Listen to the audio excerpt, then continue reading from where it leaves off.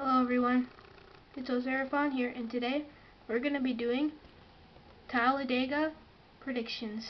We're back Super Speedway Racing, and what I like about Super Speedway Racing, or restrictor plate ra racing, you, you could say, or I should be saying, well, everyone has to be right behind each other to be in a lead draft. But then again, when predicting this video, it took me a long time, a lot of bold predictions, because everyone is in the lead draft. So it's almost impossible to guess who's going to come what place. So let's begin then. Winning the pole is Daniel Suarez. Daniel Suarez kind of comes in here with an extra boost of confidence because he runs so well here. He led um, he led um, during the fall race of the uh, Talladega until he was taken out by Chase Elliott.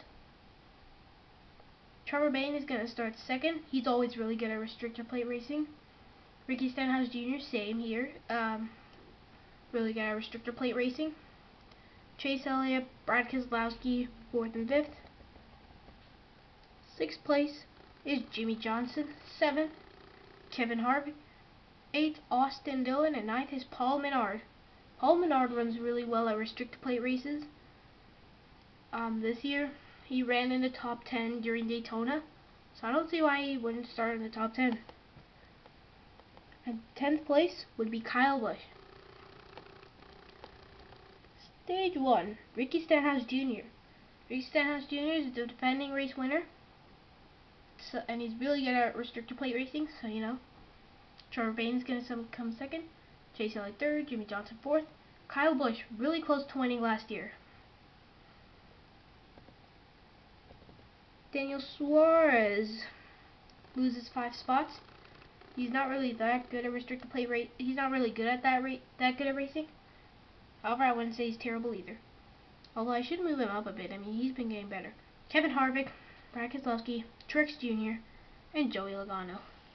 Round out your top 10 of stage 1. Stage 2.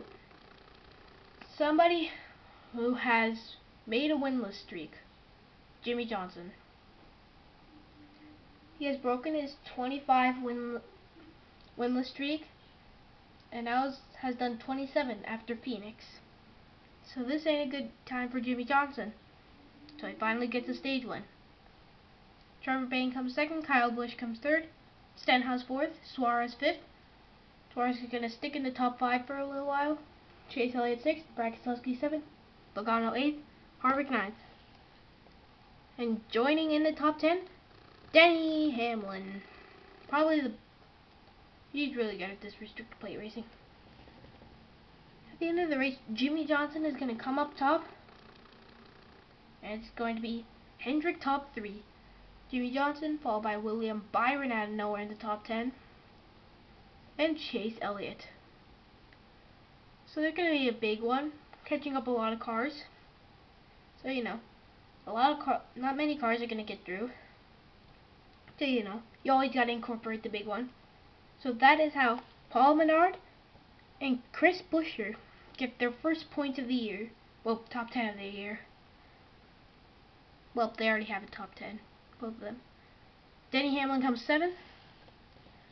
And it's a Joe Gibbs 7 through 10 with Denny Hamlin, Daniel Suarez, Kyle Busch, and then Erik Jones. So yeah, Jimmie Johnson wins the Talladega, finally breaks his winless streak.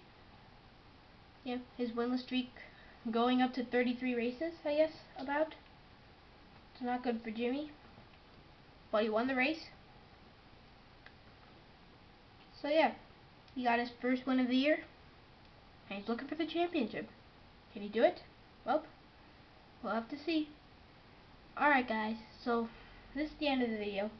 Make sure to subscribe, like, answer in the comment section below telling me who do you think is going to get in the top 10 in the Talladega race. Also make sure to hit that notification bell as well as sharing the video with your family and friends. And make sure to check out this other content for more stuff from me from me. Alright guys, I'll see see y'all next time.